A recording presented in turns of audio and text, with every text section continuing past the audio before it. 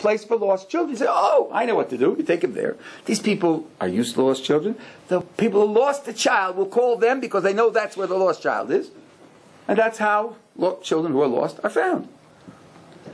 You have people who volunteer uh, medical supplies. You can, you can get medical supplies like blood pressure equipment or uh, uh blood uh, sugar testing or wheelchairs or crutches or, or um, baby equipment. All of this free of charge. You use them when you need them and you return them. This is because the community has a commitment. People in the community have a commitment to improving the life of the community. So when you talk about the anticipated cost, one has to take into, about, into account the anticipated benefits as well. Now, I think when you balance them up, to think of it as a significantly difficult disruption and difficulty in my life where the cost is going to be enormous, I think that for most people that's going to be unrealistic. Of course, if in your spare time you're running guns to the Palestinians, you'll have to reconsider that. That's true. That's true.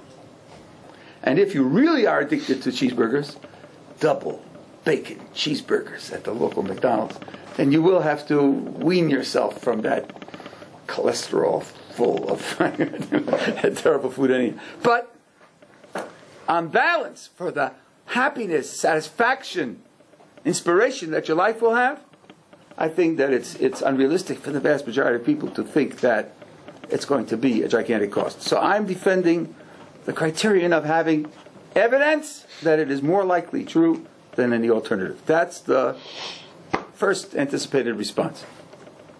The second anticipated response, which I will try to do quickly, if I don't finish it, I'll, be happy to, to continue it uh, next, tomorrow afternoon at 4.30, is this.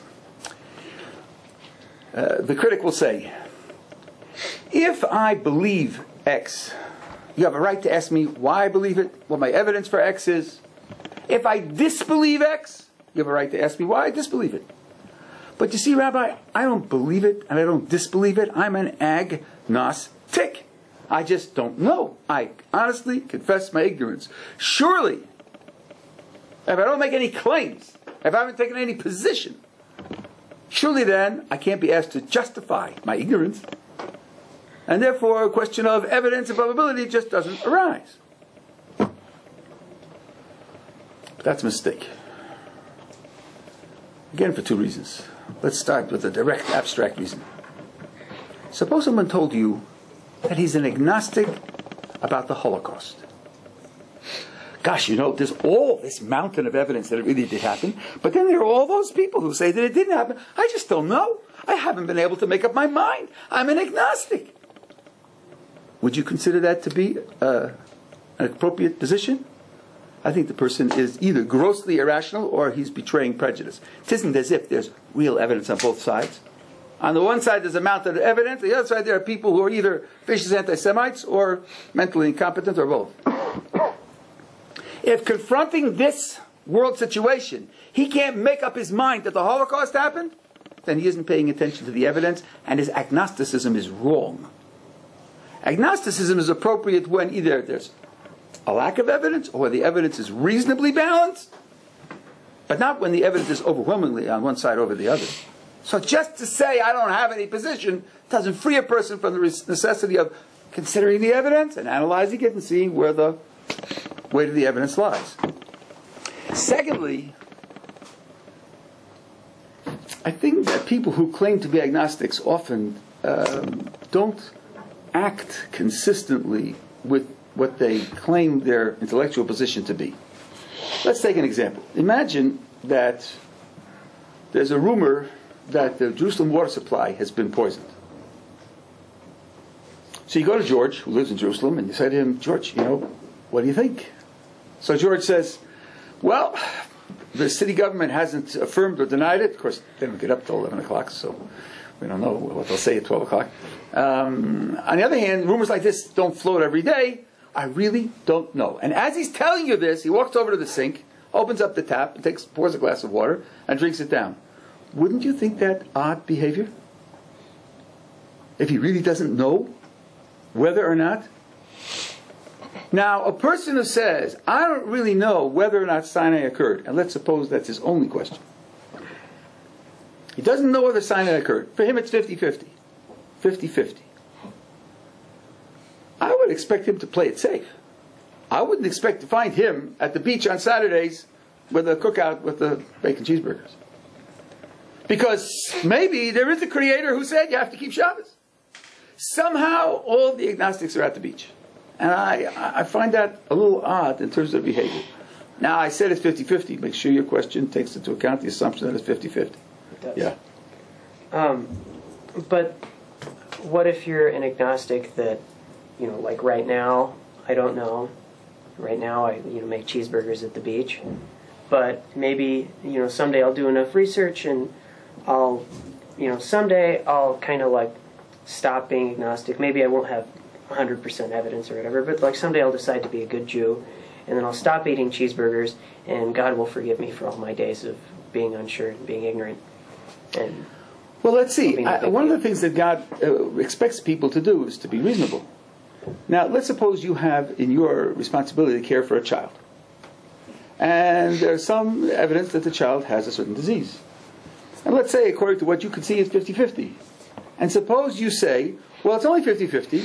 Someday I'll investigate. In the meantime, I'm not treating the child as if he's sick. Because someday I'll investigate it. And people will forgive me because I didn't know he was sick. Well, the question is, so the question is like, if this child's disease, like say, if you start curing him like ten years later, but he won't suffer at all, and he'll be like fully cured anyway, if you start ten years rather than if you start now. I mean, the question is, if if I become religious ten years from now, is it possible that I could, like, you know, reach a similar spiritual level and all this stuff and Certainly not, number one. But, but, but more than that, a person has a responsibility to use the partial information that he has in a rational way. Uh, we hold people uh, to this responsibility throughout life. It's true that if there were no consequences whatsoever, then you could put it off. That's, that's quite correct. But all of that lifetime in between, it makes a difference how you live. If there is a God and He wants you to live in a particular way, then during that period of time, um, uh, you aren't living the way he wants you to live. You know, Bertrand Russell, and they asked him, "What if you die and you and you go to heaven and there is a God? You know, what will you tell him?" And he said, "I'll tell him, not enough evidence. You didn't give me enough evidence." Okay, I think that's a reasonable claim if it's true. And of course, he was talking about Christianity. There, it might very well be true. But uh, if there is enough evidence to make a decision to act on that basis, then you can't claim not enough evidence. Now, when the consequences are there and inescapable, and you have a 50 50 proposition, people expect you to, to play it safe. People expect you to, uh, to, to, uh, to act conservatively, not, uh, not, to, not to just take chances. That's, and God could say the same thing. You wouldn't have done that with your stock account. You wouldn't have done that with your children. Why did you do it with me? Yeah. I, I, I would have thought, I mean, I agree, like, if it's 50-50, you would think people to take the conservative route.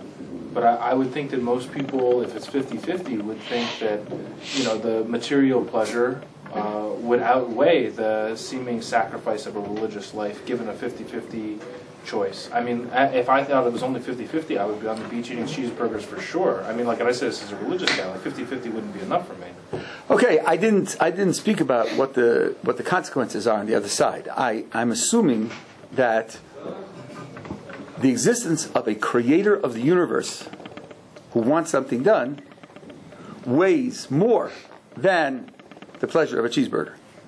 I think in most people's minds, you know, you ask people, suppose you were there at Sinai. Suppose you heard it yourself, right? Would that change your plans for the weekend? Yeah. Or would you say, oh, well, you know, that's what he wants, but I, I, I have a skiing trip. And I'll I'll do it next week. Of course it would, right? So there's the question of what outweighs what is not, is not uh, a question here. It's clear that if it's true, it outweighs the beach. Now you have a 50 50 chance that it's true. Okay, think about it. We'll try, pick up tomorrow afternoon.